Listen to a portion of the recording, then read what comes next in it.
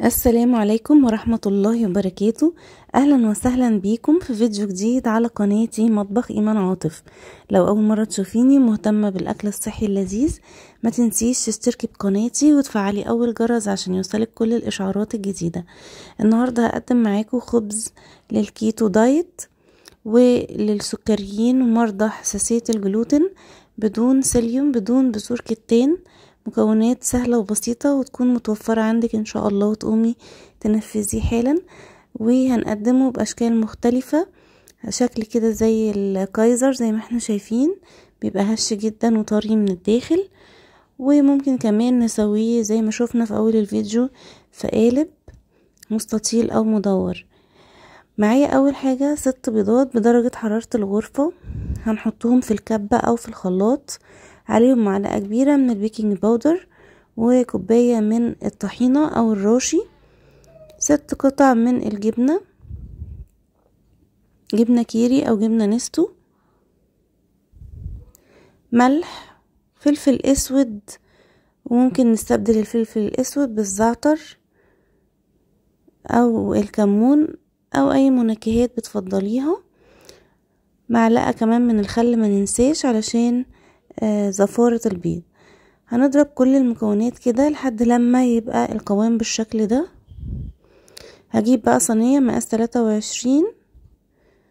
ممكن نفرشها ورق زبدة أو ممكن ندهنها ونصب الخليط فيها بالشكل ده.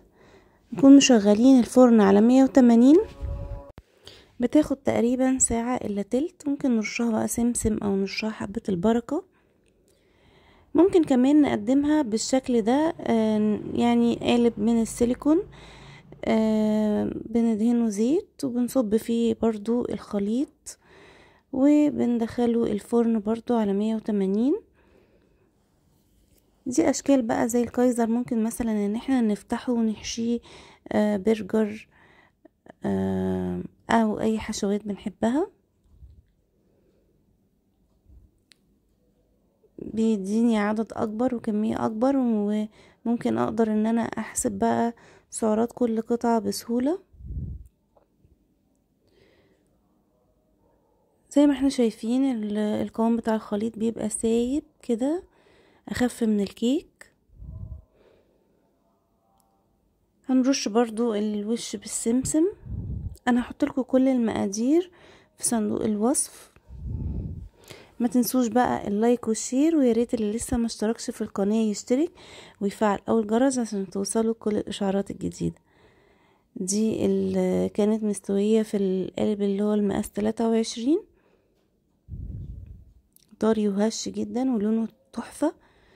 إن شاء الله تجربوا الوصفة وتنور رضاكم. أشوفكم على خير إن شاء الله في فيديوهات جديدة قريب. والسلام عليكم ورحمة الله وبركاته.